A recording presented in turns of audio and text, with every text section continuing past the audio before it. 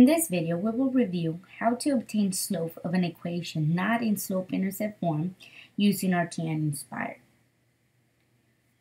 If we were given the equation y equals 3x minus 2, many of us can identify the slope just by looking at the coefficient due to the fact that this equation is in the slope-intercept form.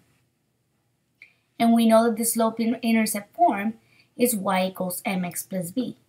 The coefficient of x is the slope. In this case, the slope is 3.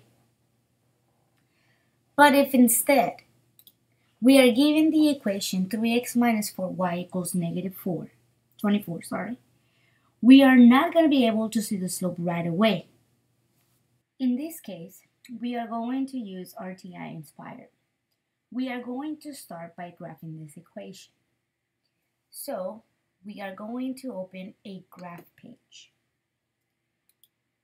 And where we are being asked to put our function, we will delete the equal sign and go to relation. This is because the equation is not in the f of x or y equal form. After we we're going to write our equation right now. X minus 4y equals negative 24. After we write our equation, we press enter. We will see the graph, the line of our equation.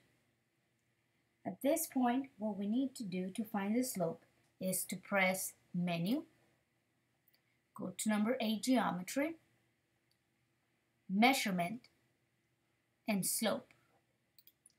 Once that we do that, we need to select or just hover over the line, do a double click, 1, 2, and this is the slope of, of our function. This method shows us the slope of a line regardless of the form that the equation is in. Even, we're going to open another one. Again, we delete and go to relation. Even when we have an equation such as negative 3x plus 10y minus 27 equals 0. We press enter, we see the line, and again we do menu, geometry, measurement, slope, one, two clicks. This is my slope. Thank you.